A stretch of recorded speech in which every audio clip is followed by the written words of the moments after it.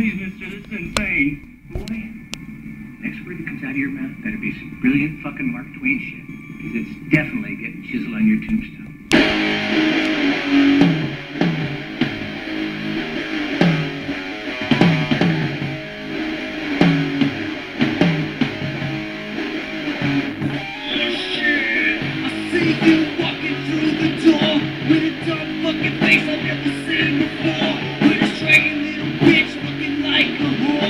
Whore. Beat your ass like the shit was a chore.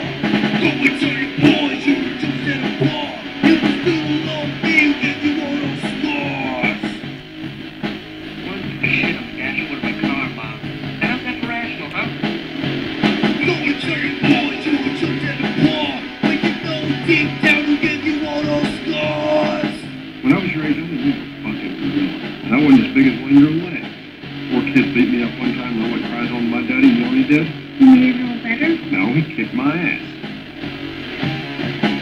Shooting steroids, trying to get like a hard. When I put you in the face on the scene of stars.